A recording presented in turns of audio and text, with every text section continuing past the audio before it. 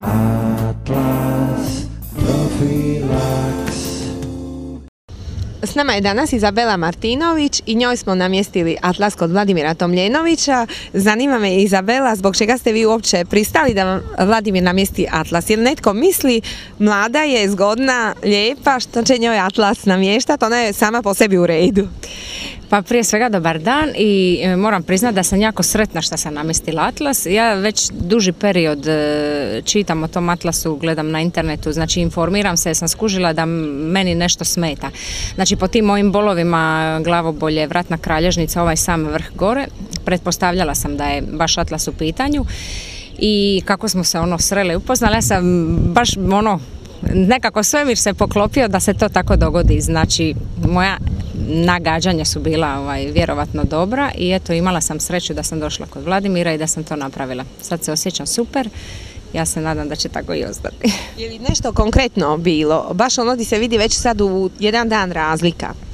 Da, na glavobolja ili nešto? E, Da, glavobolje su zaista bile česte i, i pokret sam s vratom. Znači ja sam u lijevu stranu mogla okrenuti, u desnu nikako. Znači sve, i kad bi vježbala čak vježbe, nisam na desnu stranu nikako mogla.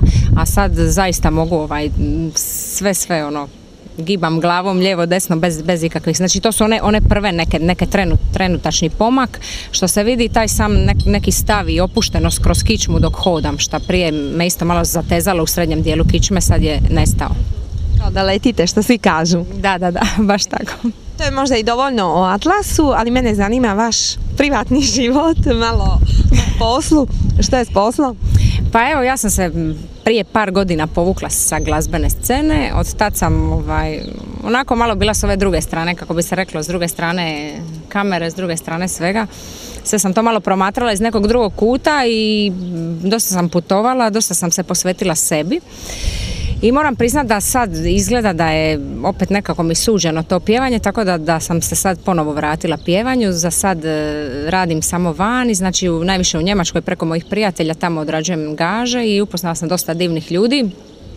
I to me nekako vratilo na taj način kroz to. Sad planiram snimiti pjesmu ovdje, ali isto iz ljubavi, ne zato da budem na televiziji ni da snimim spot, nego zaista ono kad se neke stvari tako u tom pravcu i poslože, onda je valjda to, to podnormalno. Inače, m, što se tiče zdrave hrane, pobornik sam definitivno. Ima par godina i tu sam se malo promijenila, iako je svima bilo čudno, pošto je moj tata po zanimanju mesar bio. Znači, to je, ovaj, cijeli život smo bili u doticaju s mesom i to, to nam je bilo neko, nek- nek- neka primarna hrana kojom smo se mi hranili. Međutim, isto tako je cijeli život poljoprivrednik. Znači, jako zaljubljen u zemlju, cija- ja, mi smo cijeli život imali sve domaće. Znači, ja u životu, ne znam, nisam kupila krompir, blitvu, zelje. To, to jednostavno imamo, to je naše nekako uzgojimo i to je to. Tako da mi je to isto bio valjda lo- logični neki slijed života. Valjda se organizam s godinama i zasiti ili dođe do neke prekretnice, znači sam organizam, a odlučila sam da je najbolje slušati svoj organizam, znači kako on traži i evo sad mogu reći da već jedan duži period zaista ne jedem meso, ali ne zato što sam sad nešto kao rekla, a sad ne smijem to, nego tako mi je prirodno baš Što je spontano. I koji su rezultati od toga? Jer se vidi nešto neki drugi osjećaj? Pa je, osjećam se super, e, iako sam, baš sam se okrenula malo, možda kompletno sam išla probati ovo drugo, pa tako da i vježbam jogu. E, moram priznati da sam, da sam otkrila jedan drugi svijet. Jedan drugi svijet koji je u stvari tako lijep, jednostavan, tu je oko nas.